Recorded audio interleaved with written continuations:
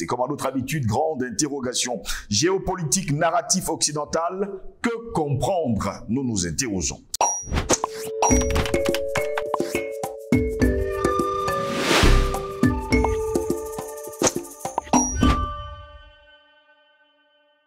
Madame, Messieurs, bonjour. Très heureux de vous retrouver sur Panafricaniste TV, votre chaîne de télévision qui vous apporte le meilleur de l'information sur un plateau d'or. Bienvenue à toutes et à tous à cette autre édition de Parole panafricaniste. Eh bien, nous allons vous faire un petit guide pour comprendre les Occidentaux et leur système et sans oublier leur narratif. Quand ils vous disent qu'une personne est infréquentable, alors c'est cette personne qu'il faut suivre, qu'il faut fréquenter. Quand de façon unanime, ils encensent quelqu'un, eh bien, mesdames, messieurs, méfiez-vous de cette personne comme de la peste, car elle est compromise. Quand ils disent vouloir vous aider, protéger jalousement tous vos biens, eh bien, ils viennent pour vous voler et surtout, ils viennent te voler, eh bien, le feu. Quand ils disent te donner un conseil pour ton bien, eh bien, faites attention. Exactement le contraire. Ils ne tendent, ils vous tendent justement un piège. Quand ils disent vous faire un cadeau, c'est qu'il est empoisonné. Quand ils disent vous venir en aide financièrement, c'est qu'ils ont programmé de l'asphyxie par la dette. Quand ils disent t'aider à exploiter tes ressources naturelles, eh bien, c'est pour les piller. Oui, c'est ça le narratif, mesdames, messieurs, de l'Occident. La fourberie de l'Occident est d'une constance historique. L'Occident n'a rien de bon à apporter à l'Afrique et l'Afrique n'a jamais eu besoin de l'Occident. C'est l'Occident qui vit au crochet de l'Afrique et ne peut s'en passer. Depuis au moins le 15e siècle jusqu'à nos jours, cette réalité est immuable. Même leur prétendue prospérité est un leurre. Le début du salut de l'Afrique, c'est d'arrêter de croire un seul traître mot de ce que dit l'Occident. Prenons donc, prenons-les pour ce qu'ils sont, c'est-à-dire des pères du mensonge. Eh bien, à bon entendeur, salut. Voilà pourquoi nous nous interrogeons géopolitique, narratif occidental, que comprendre? Et pour répondre à nos questions, nous sommes avec Paulela. Il est le président d'African Revival. Il est notre invité. Paulela, bonjour, bienvenue à vous. Bonjour Steve, je suis euh, heureux de te retrouver, toi et tes millions de téléspectateurs sur Panafricanist TV. Très heureux de t'avoir également sur notre plateau ce matin. Paul est là, vous nous avez fait un petit guide pour comprendre les Occidentaux. Commençons par le premier. Eh bien, c'est derrière quand ils disent au effort qu'une personne est infréquentable.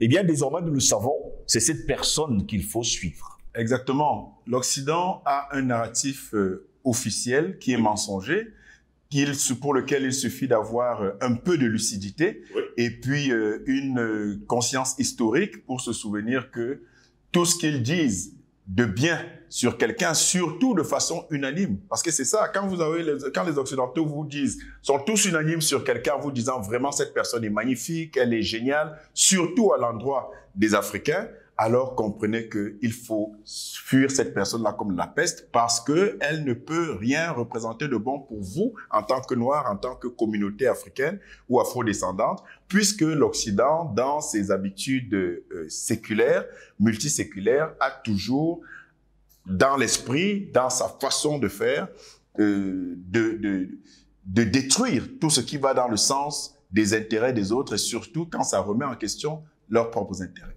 Continuons justement avec euh, ce guide pour mieux comprendre les Occidentaux et surtout leur narratif. Quand de façon unanime, vous nous dites encore, ils encensent quelqu'un, il il faut commencer à se méfier de cette personne comme de la peste, parce que nous savons que cette personne est déjà compromise. Tout à fait. Alors, vous avez des, des Occidentaux, puisqu'il s'agit d'eux, qui sont depuis des siècles aujourd'hui, j'aime souvent le dire, depuis au moins le 15e siècle, qui est la date historique, la période historique de la malheureuse rencontre avec euh, l'Afrique en général, mais de façon violente, puisqu'il s'agit du début des expéditions esclavagistes, vous avez toujours, mais alors toujours eu un narratif mensonge. Vous avez toujours eu une sorte de, de, de, de, de narratif qui va dans le sens, qui a même été scientifisé, qui a même pris le saut de la science, qui va dans le sens de dénigrer le noir, de dire que le noir n'a rien, ne vaut rien. Vous vous rappelez du Code noir de Louis XIV en 1685. C'était bien meuble. Qui faisait des noirs des biens meubles. Alors, vous ne pouvez pas avoir des gens qui, depuis que vous avez fait la rencontre avec ces gens-là, vous dénigrent, vous, vous, vous torturent, vous falsifient votre histoire, mentent à tout point de vue et continuer de penser que ces gens, un jour, de, de façon unanime, pourront intellectuellement, d'une façon honnête, dire du bien ou dire quelque chose qui soit juste venant de vous. Dès qu'ils s'organisent, dès qu'ils sont d'accord pour vous encenser, sachez que la personne qu'ils encensent est dans leur camp justement pour nuire aux intérêts africains. Dont l'objectif aujourd'hui, c'est toujours mettre à mal le peuple africain. Absolument. Alors, quand vous regardez euh, depuis le temps, prenons ce cas, ne prenons que le cas de la France. Quand vous regardez les principaux héros de la France, ils sont trois que l'histoire de la France présente comme ceux qui ont, qui reflètent le mieux la gloire française, si tant, si tant est qu'on puisse la considérer comme telle. Vous avez Louis XIV, vous avez Napoléon Bonaparte, vous avez De Gaulle. Et ces trois héros de la France sont tous des bourreaux pour l'Afrique. Et je vous dis, c'est les figures les plus emblématiques de l'histoire dite glorieuse de la France. Or, c'est qui Louis XIV Louis XIV, c'est quand même celui qui a établi le Code noir. C'est celui qui a posé les jalons juridiques de l'esclavage, de la maltraitance des Noirs. Et c'est lui qui a posé les bases de ce qui allait être plus tard le, le, le, saut scientifique de l'infériorité des Noirs et du suprémacisme blanc, puisque c'est sur la base du Code noir qu'on a eu des théories fallacieuses, soi-disant scientifiques, pour expliquer que le noir était inférieur. Donc il a posé les bases du racisme. Je vous rappelle encore que quand vous prenez maintenant euh, Napoléon Bonaparte, Napoléon Bonaparte, après la supposée abolition de l'esclavage de 1792, rétablit cet esclavage en 1804 et rétablit par la même occasion le code noir de Louis XIV. Et Napoléon Bonaparte, je vous rappelle, tout à l'heure on a parlé de Louis XIV, il était quand même présenté comme le roi soleil, donc le roi de toutes les lumières, et quand les Français en parlent, c'est avec la plus grande fierté. Or, on connaît tous les affres qu'il a causés aux Africains.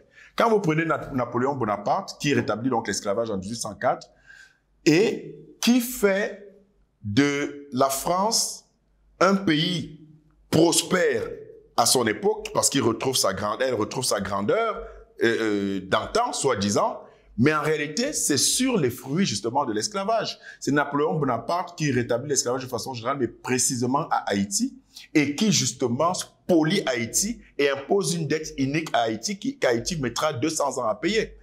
Vous avez ensuite, je vous rappelle également que la femme de Napoléon Bonaparte était propriétaire de, de, plantations esclavagistes, de canne à sucre qui rapportaient énormément à la France. Et juste à titre de rappel, vous avez un certain nombre d'édifices qui font la fierté de la France aujourd'hui. Vous avez le palais de l'Élysée, vous avez l'Arc de Triomphe, vous avez la Banque de France, vous avez le château de Versailles. Tous ces édifices, et ce n'est pas exhaustif, ont été construits par le sang des esclaves africains. Le, le, le, le, château de Versailles, qui a, qui a, commencé à être construit par Louis XIII et qui, qui, qui, qui s'est terminé par Louis XIV, euh, était exclusivement construit par des esclaves, avec les fruits de l'esclavage. La Banque de France aujourd'hui, qui est le poumon de l'économie de, la France. Donc, quand on parle d'une banque centrale d'un pays, vous comprenez ce que ça veut dire. Ça veut dire c'est le cœur de l'économie de, ce pays-là. La banque centrale, l'essentiel des fonds de la banque qui, ont constitué la banque centrale était le fruit de l'esclavage. La banque centrale de, la Banque de France a été créée en 1800, donc en pleine période de l'esclavage. Et aujourd'hui, ça fait la fierté de la France, l'économie de la France. Quand vous prenez l'Élysée, le palais de l'Élysée, c'est en réalité l'élément le, plus pertinent du passé esclavagiste de la France. Parce que ce sont des Noirs qui l'ont construit à base de, des ressources esclavagistes, notamment euh, Antoine Crozat. Si vous regardez qui est Antoine Crozat, qui était un bras droit de Louis XIV et qui a contribué énormément à la richesse de la France, en tout cas la prospérité économique de la France entre le 16e, la, le moitié du 16e et moitié du 17e siècle, vous vous rendrez compte que Il est présenté d'ailleurs dans l'histoire française comme l'un des hommes, sinon l'homme le plus riche de l'histoire de France. C'est lui qui détenait la Louisiane. La Louisiane, seul tout l'État de Louisiane. C'est lui qui détenait la Louisiane avant que la France ne cède la Louisiane aux États-Unis. Et vous avez un troisième personnage, De Gaulle, de Gaulle, qui est présenté comme euh, l'un des emblèmes les plus euh, euh, prestigieux de la France, mais qui, pour les Africains, n'est rien d'autre qu'un criminel. un poltron devenu héros. Un, voilà, on sait comment, on se rappelle de l'appel du 18 juin en réalité qui était une fugue. La fugue d'un général, vous vous rendez compte? Euh, un général fut-il de brigade seulement, mais en fait, si vous êtes un général et qui, qui est supposé être donc un héros et montrer le chemin en pleine guerre, vous ne fuyez pas, vous ne désertez pas votre pays. Et on sait ce qui devrait arriver, ce qui arrive dans des pays normaux euh, pour des, des officiers de haut rang qui désertent. On sait ce qui arrive. On en finit avec eux. Au minimum, on les destitue. Mais voilà le héros de la France qui, en plus de cela, a été l'un des pires tortionnaires que l'Afrique ait jamais connu. Vous voulez qu'on parle de, des- massacres d'Algérie, euh, vous voulez qu'on parle des massacres au Cameroun, vous voulez qu'on parle des assassinats de tous les indépendantistes. En fait, je brosse ce petit, cet aperçu historique-là concernant la France et ses supposées lumières et ses supposées euh, euh, euh, figures emblématiques en rapport avec l'Afrique pour bien montrer que de tout temps, la France, l'Occident en général, est, a été et reste esclavagiste et il n'y a rien de bon à attendre de ces gens et tout ce qu'ils peuvent dire de bon sur un des nôtres de façon unanime est le signe patent que cette personne doit être Restons pour les sur De Gaulle, quand même, il faut préciser par ailleurs que c'est au Cameroun qu'il est venu se réfugier. Il venait d'ailleurs se suicider ici même à Douala. Et d'ailleurs, on se rappelle du 27 août 1940, où ce sont de jeunes Camerounais qui vont lui dire, nous allons t'aider, parce que ceux-ci ne voulaient plus de l'Allemagne. Finalement, c'est encore le même homme qui va détruire 256 villes au Cameroun. C'est quand même Absolument. trop. C'est- C'est c'est juste incompréhensible. Mais c'est là où vous comprenez au napalm. Et je vous rappelle que pour ceux qui n'ont pas une idée de ce que c'est le napalm, qu'ils se rappellent juste des bombes d'Hiroshima que les États-Unis ont déversées sur le Japon. C'est-à-dire que vous avez les- les- les- les- les- la, la bombe atomique, vous avez le napalm quelque part juste en bas. Parce que ça décime, ça brûle, ça rend euh, euh, euh, infertile les terres, ça, ça détruit les animaux, ça, ça a des conséquences sur des décennies, sur les êtres humains et tout ça. Donc, c'est d'une cruauté qui n'a juste pas de nom, dont selon le secret les Occidentaux. Et donc, vous avez ce même individu qui est un héros pour la France, qui allait plus loin. C'est-à-dire que, euh, euh, les- si vous vous rappelez des massacres de Guelma, de Kerata et de Sétif en Algérie, vous vous rappelez, euh, on a parlé du napalm au Cameroun, mais c'est le même bonhomme, le, cet héros, le- ce héros donc de la France, Oui. qui va procéder au massacre le 1er décembre 44, qui va procéder au massacre de Tiaroy, Oui. en faisant littéralement assassiner des soldats africains qui avaient été rapatriés manu militare après la libération, après que les Africains aient libéré Paris de l'Allemagne nazie. On va les rapatrier manu militare et lorsqu'ils vont euh, au Sénégal donc, et lorsqu'ils vont euh, euh, réclamer leur solde de façon légitime, ils vont être purement et simplement assassinés, tués à bout portant par les officiers de l'armée française. Mais pourquoi on les a rapatriés? Ça montre encore un autre visage hideux de cette France et de cet Occident qui ne peut être cru, dont le seul, un seul traitement ne peut être cru quand ils veulent présenter quelqu'un ou euh, l'Afrique euh, sous leur prisme. Ces soldats africains qui venaient de libérer la France ont été rapatriés manu militare Oui. pour la simple et bonne raison que il ne fallait pas qu'il y ait un seul noir sur les Champs-Élysées lors du défilé de victoire après la, fe- la- la Seconde Guerre mondiale, après donc la libération de la France des griffes de l'Allemagne nazie. Et c'est ce qu'on a appelé le blanchiment des troupes. C'est bon de connaître son histoire, euh, chers téléspectateurs. Et grâce à Panafricaniste TV, justement, on peut ensemble retourner un certain nombre de faits historiques pour nous édifier et voir à quel point il n'y a rien de bon à attendre des, Occidentaux et il n'y a pas un seul traitement à, tra- à- à- à croire de leur narratif. Et donc, le blanchiment des troupes, c'était donc ça. C'était que il ne fallait pas que les gens se rendent compte que ce sont des Noirs qui ont libéré la France. Donc, on les a rapatriés manu militare, on les a déshabillés, Et on a donné leur tenue et des armes à des va-nu-pieds, à des clochards, mais c'est la vérité. C'est-à-dire qu'on ramassait des clochards blancs, français, euh, soi-disant de souche dans la rue, pour sauver l'image de la France. Pardon. Pardon. Et on leur remettait des armes. On leur remettait des, des tenues pour aller défiler sur les Champs-Élysées. Ça, c'est important de rappeler ce genre de fait historique parce que ça montre bien à nos téléspectateurs dans quel état d'esprit sont les systèmes occidentaux et quel type de rapport on doit avoir eux. Justement, ne jamais croire un seul mot parce que comme euh, je le dis à la fin de, cette, euh, de ce petit guide, euh, pour comprendre le narratif officiel des Occidentaux et donc s'en méfier, il ne faut le début du salut de l'Afrique. C'est quand tous les Africains vont se rendre compte qu'il n'y a pas un seul traître mot à croire du narratif, du narratif officiel de l'Occident sur l'Afrique. Continuons justement avec ce petit guide. Quand ils disent vouloir justement aider un pays africain, protéger, c'est en ce moment-là qu'il faut protéger jalousement tous les biens.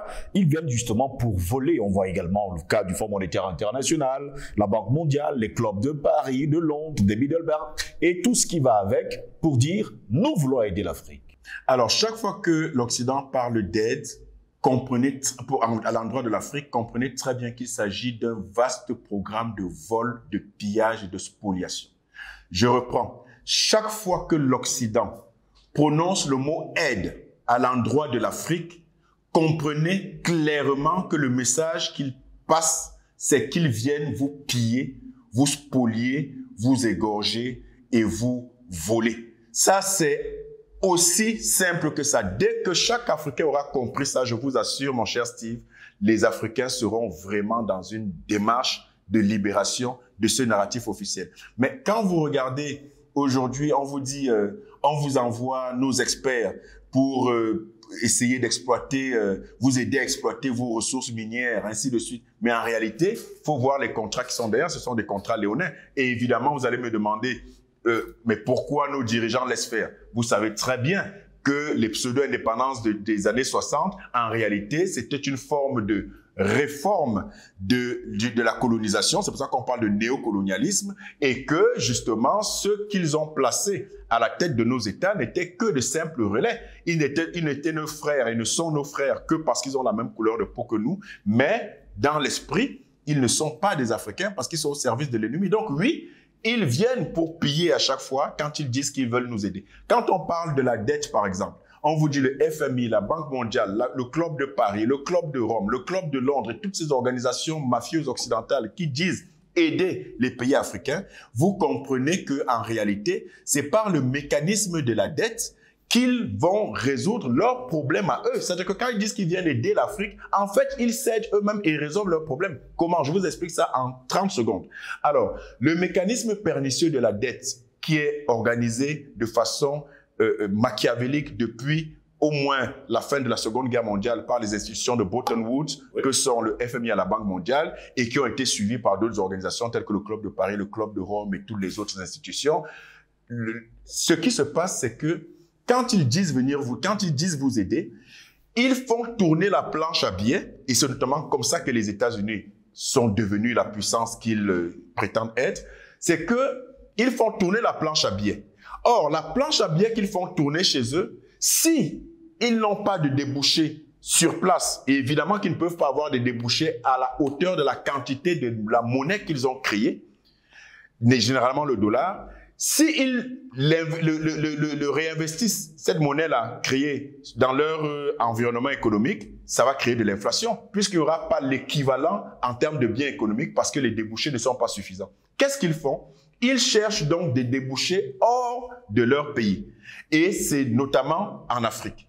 Et ils disent, écoutez, on va vous prêter de l'argent, mais cet argent qu'ils prêtent crée des débouchés pour leurs économies parce que ça évite l'inflation dans leur pays ils vont donc investir dans les pays africains sous forme de prêts, mais en réalité, ils donnent un équivalent en termes de biens économiques à cet argent et quand ils sont remboursés, cet argent qui a été créé ex nihilo à partir de rien a maintenant un correspondant en termes de d'économie réelle dans nos pays. Et quand on leur rembourse donc cet argent, souvent par les matières premières, les ressources minières, le pétrole, ainsi de suite, à vil prix, qui leur permet encore de faire des marges conséquentes. Eux, ils retrouvent donc une santé économique et une prospérité du fait justement du mécanisme pernicieux de la dette qui nous, nous asphyxie et eux développent leurs économies. Donc, c'est encore un piège quand on parle de l'aide en termes d'endettement.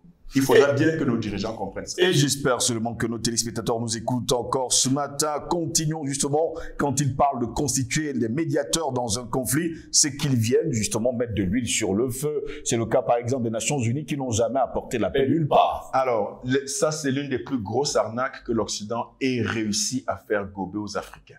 Venir servir de médiateur pour mettre fin à des conflits. C'est une arnaque de haut vol.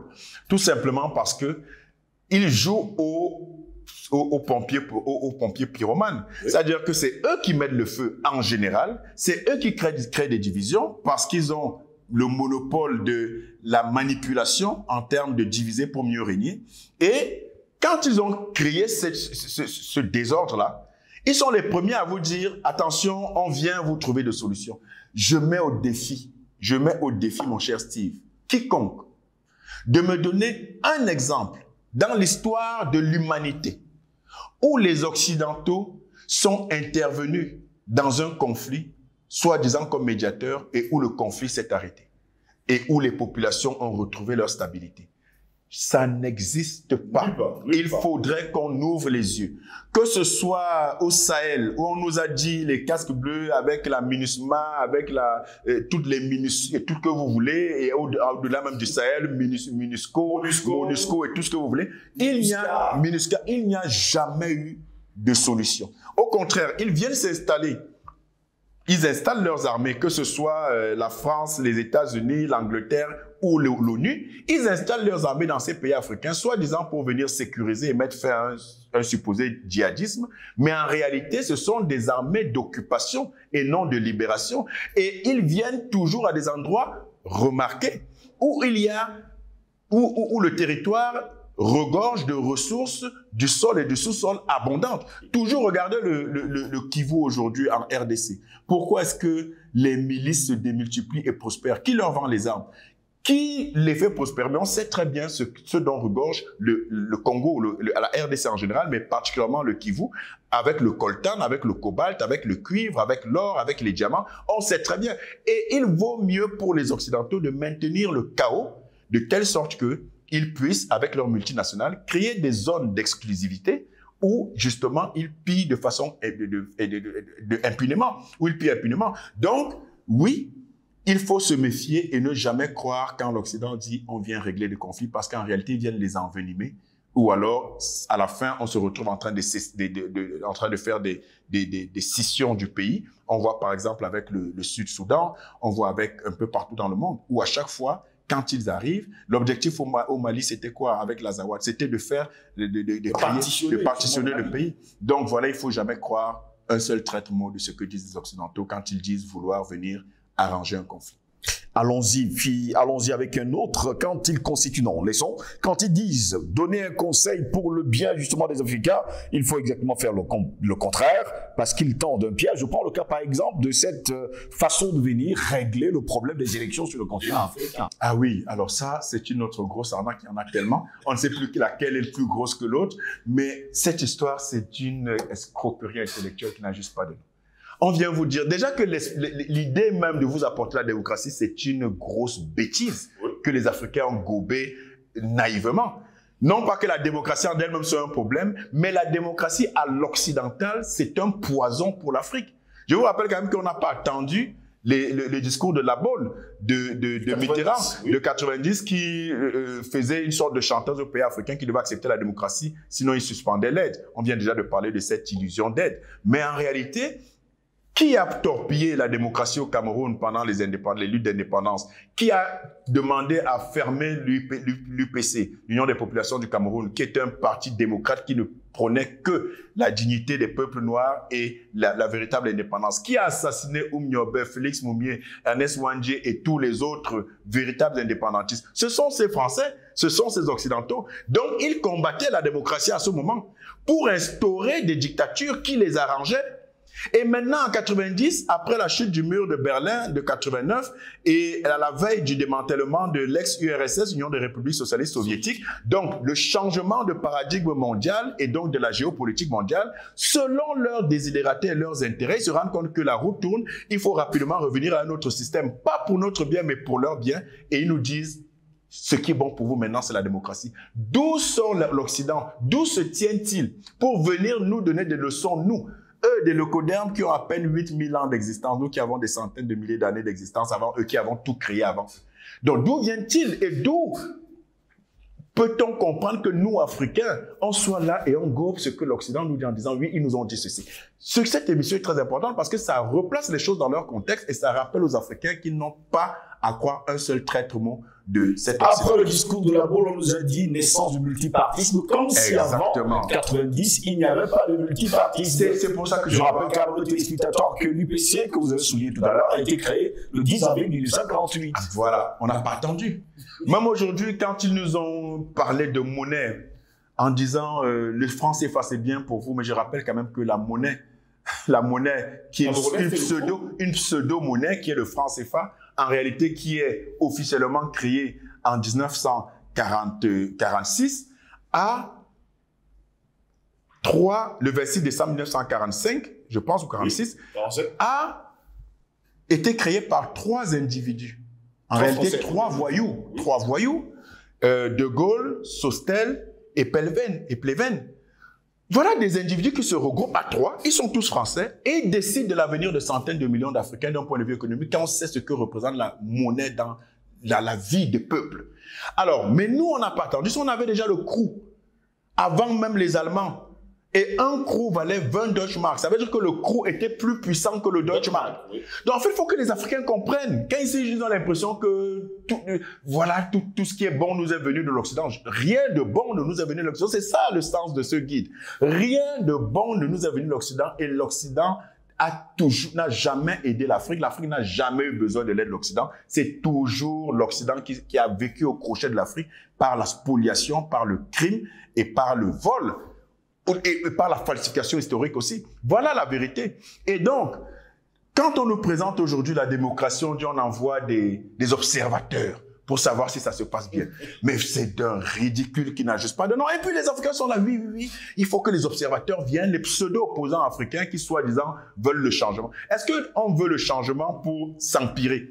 En réalité, le seul changement qui est nécessaire pour l'Afrique, c'est pas des démocraties factices. C'est pas l'alternance L'alternance, mais justement, mais il faut que il faudrait que les Africains comprennent ça. L'alternance n'est pas synonyme de démocratie. Puisque vous pouvez alterner et aller de mal en pis. D'ailleurs, la notion d'alternance en Afrique, dans la plupart des pays d'Afrique subsaharienne, notamment francophone, c'est quoi? Disons-le nous. C'est de dire non, non, celui-ci a déjà trop mangé. Il faut maintenant que nous aussi on mange. C'est ça l'alternance démocratique? Mais c'est d'aller de mal en pis. La vraie alternance et la vraie démocratie, c'est pas celle qui nous est vendue par l'Occident, oui c'est pour leurs propres intérêts, selon leur seul, seul prisme égoïste, mais c'est celle qui fait que les Africains commencent par penser par eux-mêmes, par avoir imposé leurs propres priorités selon leur propre vision et arrêter de se lire dans le regard de l'Occident et arrêter de se dire ce qui est bon pour les Africains ce qui est mauvais pour eux. Nous sommes quand j'entends parler les Africains, les États africains sont encore jeunes, jeunes par rapport à quoi? Des gens qui existent longtemps avant ceux qui prétendent leur donner des leçons. Vous parlez de jeunesse. On parle aujourd'hui. Le narratif occidental est mensonger à tout point de vue. Comment on appelle l'Europe Le vieux continent? Vieux par rapport à qui? Et par rapport à quoi? Une histoire où ce sont les Africains qui ont découvert l'Europe, qui sont les premiers à avoir peuplé l'Europe et qui ont fait de l'Europe ce que c'est. Et l'Europe qui a commencé à naître seulement au contact de l'Afrique, d'abord à l'Antiquité, avec la rencontre des Grecs avec nos, nos prêtres, nos savants euh, prêtres de l'Égypte antique noire. Et ensuite, la deuxième période où ils ont un peu émergé, où ils, ont, ils se sont inventés des savants, c'était la période après le Moyen Âge, c'est-à-dire leur fameux, euh, leur prétendu siècle des Lumières et la Renaissance. mais mais faut bien rappeler aux Africains, parce que Yves, euh, Steve, cette émission est extrêmement importante parce que elle permet, comme d'autres, de rappeler leur place aux Africains et de rappeler le, le statut d'empire du mensonge de l'Occident. Je rappelle aux Africains qui nous écoutent et même aux Occidentaux qui nous écoutent que lorsque les Africains, c'est-à-dire nos ancêtres noirs, d'Afrique, d'Éthiopie, de, de, de, de donc du Soudan, de l'Égypte antique noire, du, du, Congo, actuel RDC, euh, du Mali avec l'Empire Mandingue et du Bénin avec le royaume du Bénin, et tous ces autres ancêtres de toutes ces contrées africaines, lorsqu'ils maîtrisaient déjà l'astronomie, l'économie, euh, les mathématiques, la médecine avec Imhotep, je rappelle qu'Imhotep, c'est le premier médecin que l'histoire reconnaisse et qui date d'au moins 500, 500 ans avant, avant Jésus-Christ. Pourtant, on nous parle d'un certain Hippocrate qui arrive plus de 1000 ans après. Euh, L'environnement, le, les droits de l'homme avec la charte du Mandé qui date du XIIIe siècle, lorsque les... La Mahat qui date du... La Mahat, ainsi de suite. Alors, disons-nous le, nous clairement. Lorsque les Africains, nos ancêtres africains maîtrisaient déjà toutes ces sciences, les, le coderme, les Européens, on parlait même pas encore d'occidentaux à cette époque, les Européens vivaient encore nus dans des grottes et mangeaient du gibier cru. C'est ça la réalité. Et se faisaient la guerre. Ils n'ont connu que ça. Alors, ce sont ces gens qui vont venir nous enseigner la démocratie, les droits de l'homme. Franchement, il faudra que les Africains se réveillent. Et pour terminer en quelques secondes, pour les là, n'est-il pas de bon ton de dire aux Africains, quand vous les écoutez dans leur narratif, il faut faire très attention et surtout faites attention quand vous suivez leurs médias. Alors, moi, je les appelle l'Occident officiel. On ne parle pas ici des populations contre lesquelles on n'a absolument rien. L'Occident officiel, donc leur système, c'est l'empire du mensonge. Ils ne connaissent que le mensonge. Regardez comment ils ont falsifié l'histoire du monde et l'histoire africaine en général. Ils ne connaissent, en plus du mensonge, ils ne connaissent que le crime. Si vous l'avez dit tout à l'heure, toute leur histoire est jonchée de crimes. Ah, dans un éclair de lucidité, dans, euh, par rapport à l'océan de malhonnêteté qu'il représente, M. Sarkozy a reconnu clairement, on peut retrouver ça sur le net, que l'Europe est le continent le plus sanguinaire le plus violent et le plus barbare qui ait jamais existé. On l'a pas attendu pour le savoir. Les faits on sont là. Donc, mensonge, crime, viol, vol, spoliation, rapine et tout les adjectifs les plus abjects que vous pouvez imaginer. Voilà la face hideuse véritable de l'Occident qui ne mérite pas le moindre crédit et le moindre respect. Donc, dès que les Africains auront compris ça, qu'ils n'ont aucune attention à donner à un seul traître mot des Occidentaux, alors là, ce sera le début de la libération de l'Afrique. Merci à vous, Paul, d'avoir été avec nous ce matin. Merci, Steve. Mesdames, Messieurs, vous l'avez très bien compris, le mensonge n'a pas de longue jambe. C'est sur ce que nous allons mettre la clé sur l'opération pour cette autre édition de Parole panafricaniste. Bonne journée à toutes et à tous.